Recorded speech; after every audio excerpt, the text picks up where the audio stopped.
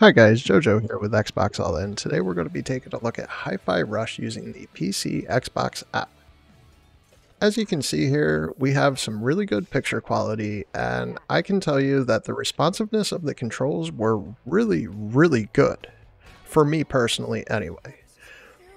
One thing with cloud gaming, you need to know that cloud gaming is going to run differently for everyone depending on how close you are to servers, location, internet type, wired, Wi Fi, whatever you got going on. So just keep in mind that if the game's not running well for you and you have the option to install it, install it and try this game out.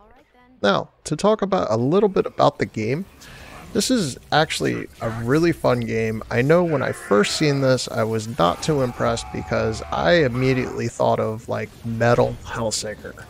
And I was not impressed with that game. It was a little tough for me and not that fun.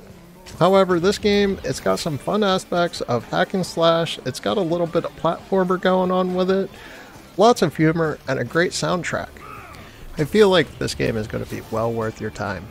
So we're going to leave you off here with a little more footage of the first boss battle, and we hope to see you in the next one.